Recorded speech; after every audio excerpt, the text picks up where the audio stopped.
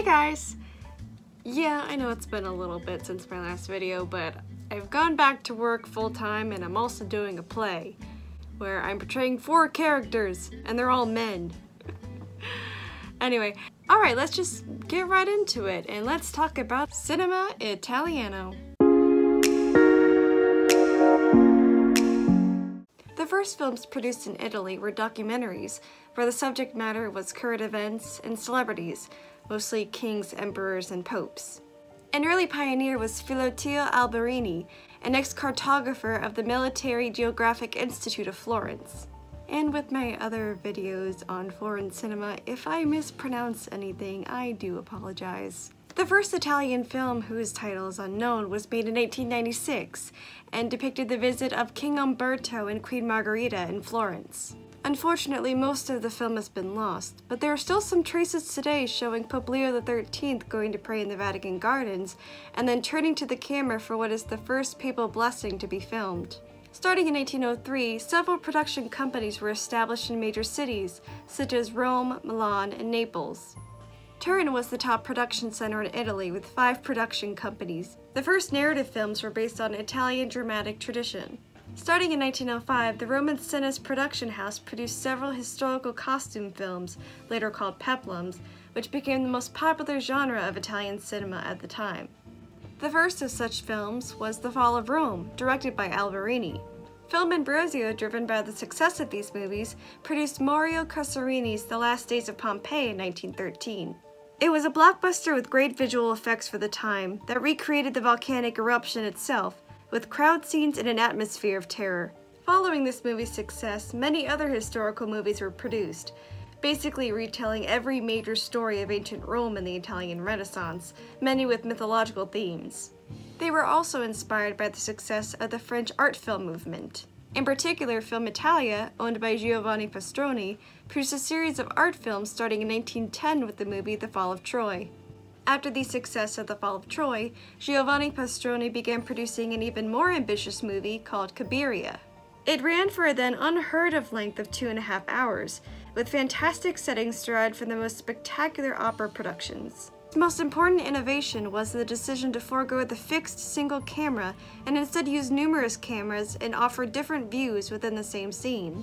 This marked a breakthrough in movie technique. Cabiria premiered in cinemas in 1914 and was an instant hit. It forever changed the language of movies and highly influenced many American filmmakers such as the legendary D.W. Griffith. In 1914, society dramas emerged, and these movies became vehicles for Italian film actresses. After World War I, American and European competition almost destroyed the Italian industry completely, forcing productions to drop from 220 films in 1920 to less than a dozen in 1927, just before the introduction of talkies. In 1930, Gennaro Righelli directed the first Italian talking picture, The Song of Love. However, the emergence of talkies led to stricter censorship by the fascist government. During the 1930s, light comedies known as Telefoni Bianchi were prominent in Italian cinema.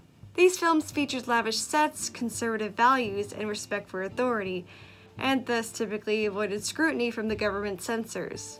In 1934, the Italian government created the General Directorate for Cinema and appointed Luigi Freddi its director. With the approval of Benito Mussolini, this directorate called for the establishment of a town southeast of Rome completely devoted to cinema, which became Cinecittà, which means Cinema City. Completed in 1937, the Cinecittà provided everything necessary for filmmaking, theaters, technical services, and even a cinematography school, the Experimental Center for Cinematography. The Cinecittà studios were Europe's most advanced production facilities and greatly boosted the technical quality of Italian films. Many famous films were shot in Cinecittà, such as the 1959 Academy Award-winning epic Ben-Hur. Italian films made in the fascist period were often nationalistic and patriotic. In an important manifesto published in 1933 called The Glass Eye, Pro-Mussolini journalist Leo Longanesi called for Italian directors to take their cameras to the streets and produce a realistic version of Italian everyday life. A blend of fact and fiction sparked a new era of Italian cinema and became the formula for successful films about the war. Italian neorealism is regarded as the beginning of the golden era of Italian cinema. Neorealism was a movement aimed to provide an unadulterated window into the harsh truths that artists observed around them. Filmmakers made it a point to never use sets, but real settings with real people to further this effect. They would also hire untrained, non-professional actors in secondary and sometimes major roles to capture the sense of realism. Films of this era often focused on themes of poverty, classism, and living under an authoritarian regime, and the effects of war and post-war society. Many people consider Roberto Rossellini's Rome Open City as the first fully realized vision of neorealism. Rossellini was not only one of the founders of the Italian neorealist movement in film, but he's also considered to be the father of Italian cinema. Rome Open City won the Grand Prize at Cannes, and a young Federico Fellini was nominated for Best Adapted Screenplay at the 19th Academy Awards. The film features shocking scenes of torture, abuse, and violence to show the immediate after effects of the Nazi occupation of Rome. Perhaps the most famous Italian neorealist film is Vittorio De Sica's 1948 film Bicycle Thieves. The film received an honorary Oscar and was voted by the Academy Board of Governors as the most outstanding foreign language film to be released in the United States. The movie tells the story of a delivery man and his son on a quest to find a stolen bicycle. The simplistic story explored complex issues of classism in the post-World War II era. During the 1950s, neorealist films were becoming less and less popular with Italian filmgoers. The Italian government also encouraged filmmakers to move away from political themes that were prominent in neorealist films in order to compete with Hollywood. Therefore, musicals, comedies, dramas, and action films were favored at the box office. During the first half of the 1950s, comedies gave audiences a sense of relief to their challenging lives in the post-war period. By the mid to late 50s, sword and sandal epics thrived, beginning with 1958's Hercules. Italian director Pietro Francisci hired American bodybuilder and actor Steve Reeves to play the lead role. The film was a worldwide hit and a sequel, and many similar epics ensued. In the next decade, sword and sandal films were followed closely by spaghetti westerns. In the 1960s, Italian filmmakers reinvented the most quintessential of American genres. Stripping the form of its romantic patriotism and replacing it with bare-bones brutality and satire, the spaghetti western incorporated widescreen framing, sweaty close-ups, and expressive sound design, changing the way westerns looked, sounded, and felt. And unlike most films, spaghetti westerns were easy to export given their minimal dialogue. Going into the 1970s, a different depiction of violence emerged through Italian giallo horror films. Its founder and most renowned filmmaker of the genre, Dario Argento, made the first giallo film, The Bird with the Crystal Plumage in 1970. His films feature brutally unique deaths and used electronic music from the Italian progressive rock band Goblin. Argento's most famous film is Suspiria, about an American ballet student who transfers to a prestigious dance academy in Germany only to find out the academy is not what it seems. Through the 1980s and early 1990s, Italian cinema began to decline. Although Italy won Best Foreign Language Oscars for 1988's Cinema Paradiso and 1991's Mediterraneo, more Italians were going to the movies to see Hollywood productions rather than their own. Commercial broadcast networks began buying films and television shows from the US and other countries, so Italian filmgoers had entertainment brought straight to their households, this is much like how streaming services are affecting the box office today, you know, before everything happened. It wasn't until Life is Beautiful that Italy had major success at home.